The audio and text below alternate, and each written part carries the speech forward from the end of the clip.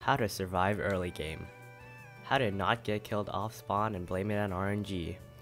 How to actually frag out with early kills. How to set yourself up for that epic victory royale. Well, you've come to the right place. Okay, step 1. Know which chest specifically you're gonna land at. In my case, I'm going for the chest on the roof of Treehouse.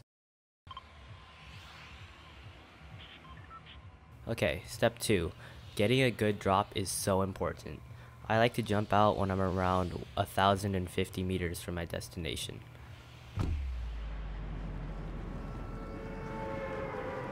As you can see, I got a perfect drop on rooftop.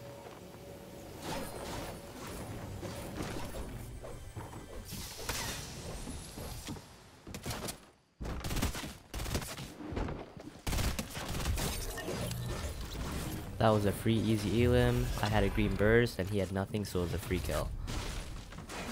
One of the most important things about winning early game is knowing exactly where all the chests spawn in your house.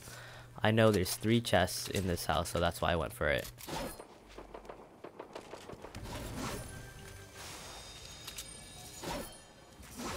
After I finish looting the house, I always go to the roof to get the highest point so I can look out for other people.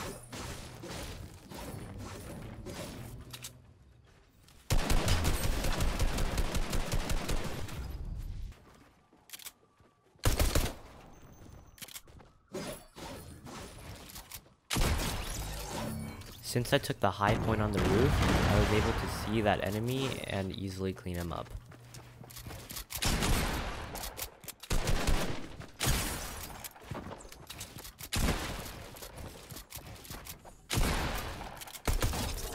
It also helps to be at least decent with your mechanics because as you as you can see in that fight, I just like absolutely destroyed him and confused him. At this point, I'm just looking around to see if there's any more enemies to fight.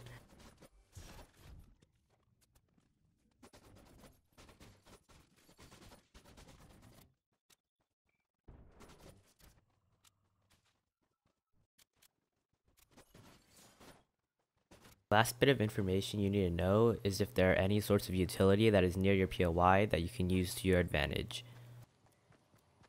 I know that there is a slurp truck on the bridge next to Salty, so I went for that one. If you're curious on how to improve your mechanics, I have a video on that coming soon on all my aiming, editing, and building routines. Thank you for watching, and I'll see you in the next one.